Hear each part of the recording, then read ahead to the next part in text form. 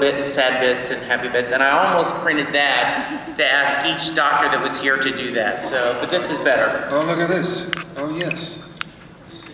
So you want to, you'll look for a minute? And No, I don't need to. Oh, whoa! Ladies and gentlemen! I'm a paid professional. I'm not, I'm not setting myself up for a fall. uh, okay. Clara sometimes asks me if I dream. Of course I dream, I tell her. Everybody dreams. But what do you dream about, she'll ask.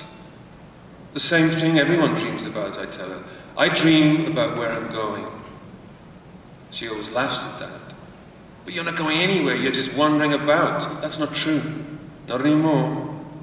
I have a new destination. My journey is the same as yours, the same as anyone's. It's taken me so many years, so many lifetimes. But at last I know where I'm going, where I've always been going. Home. The long way round.